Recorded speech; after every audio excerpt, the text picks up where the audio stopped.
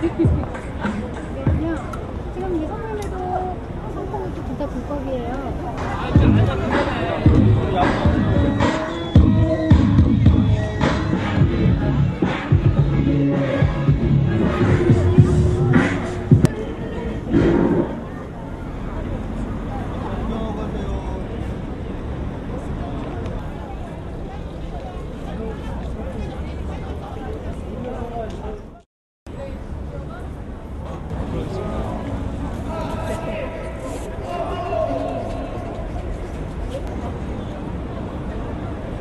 수가 있어가지고.